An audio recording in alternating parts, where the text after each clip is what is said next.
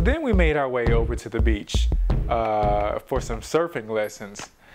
Now this was kind of strange for me and crazy because I can't swim. Not only do I not know how to swim, I've never been surfing before. First, Will told me to put this uh, strange looking suit on. Surprisingly, I was able to stretch it all the way out. Will's probably mad at me right now because he probably can't ever use his suit again. Okay, Kickin' It Caucasian. We're here with our surfing expert, Will. Um, he's going to teach me some, some pre-surfing exercises before I hop into the water. Well, before you even get in the water, you got to take a look at the, the waves, right? So you take a look out, you can see when the sets roll in, you're looking for sets of waves. They're sets of larger waves as they roll in, and those are the waves that you really want to look for. Those are the ones that you're going to be catching. There's two main types of currents. One is called the rip current, which sucks out to sea, and another one is called a longshore current, which goes all the way up and down the shore. A couple of terminology, there's the face of the wave. That's the, where you're going to be riding. The lip of the wave is the top. The curl of the wave is right where it's breaking, and then there's the white water.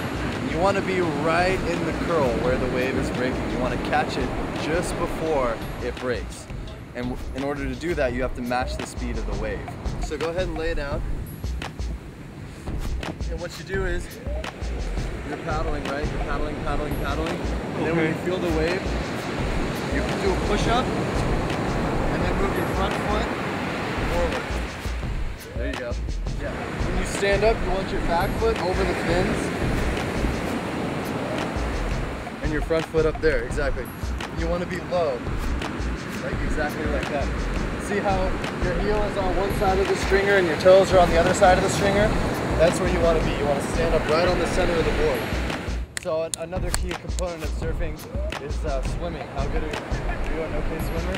Uh, well, put it this way, the last time I swam, I almost drowned in seven feet of water. We'll, we'll do our best for you not to die today. Yeah. Thank no, you. No drowning, Thank all right? You. Another thing too, man, if you fall and you're getting tossed around in the wave, don't panic. It'll let you go at some point. You just pop up. Now this is pretty hard to do when you are afraid of water. When I went out there, the water was up to probably like my chest. They try to tell you don't panic if you don't know how to swim or when you out there. But when you got the whole earth full of water coming out there towards you, and you ain't really that good of a swimmer, it's kind of hard not to panic. It was a lot to kind of take in like right away. You know, I had to learn how to swim and surf at the same time. As y'all can see already, I almost drowned on that big wave.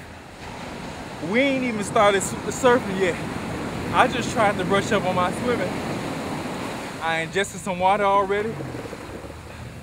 The waves weigh way more than I do right now. Pray for me, y'all. Hopefully, your boy J Bev get through this.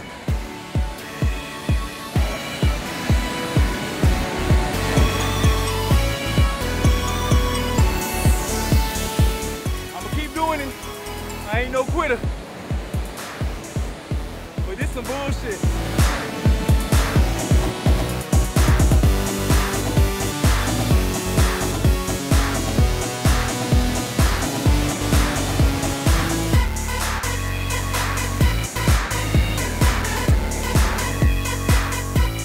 That's too far for me. That's too far for me. You know, he's swimming out there with the professionals not really my thing, you know?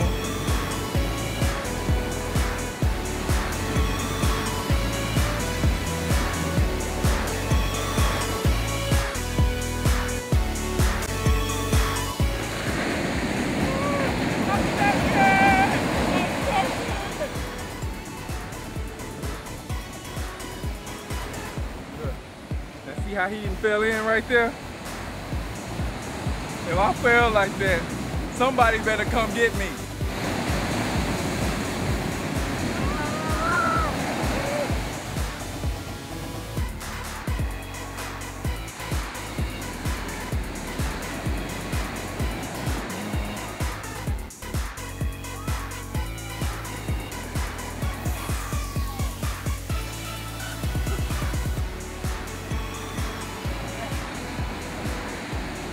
I done had enough of searching kicking the Caucasian today.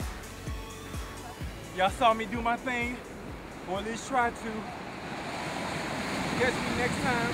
I'm Kickin' It Caucasian while I'm doing something else besides this right here.